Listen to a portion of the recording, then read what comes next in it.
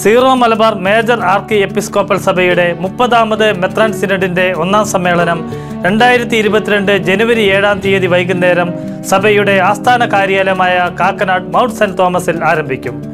ജനുവരി ഏഴാം തീയതി മുതൽ പതിനഞ്ചാം തീയതി വരെ നടക്കുന്ന സഭാ സിനഡിൽ സഭയും സമൂഹവുമായി ബന്ധപ്പെട്ട നിരവധി വിഷയങ്ങൾ ചർച്ച ചെയ്യും.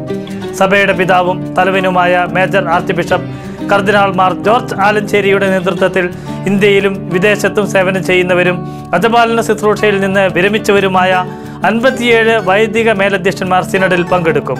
കോവിഡ് പകർച്ചവ്യാധിയുടെ പശ്ചാത്തലത്തിൽ രണ്ടായിരത്തി ഇരുപത് ഓഗസ്റ്റ് മാസത്തിലും രണ്ടായിരത്തി ഇരുപത്തൊന്ന് ജനുവരി ഓഗസ്റ്റ് മാസങ്ങളിലുമായി മൂന്ന് സിനഡ് സമ്മേളനങ്ങൾ നടത്തിയത് ഇലക്ട്രോണിക് പ്ലാറ്റ്ഫോമിലായിരുന്നു.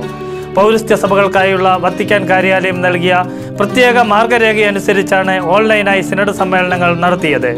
കോവിഡ് മാനദണ്ഡങ്ങളിൽ ഇളവ് വരുത്തിയ സാഹചര്യത്തിലാണ് ഇപ്പോൾ കാക്കനാട് മൗണ്ട് സെന്റ് തോമസിൽ വെച്ച് മെത്രാൻ സിനഡ് നടത്തുന്നത്.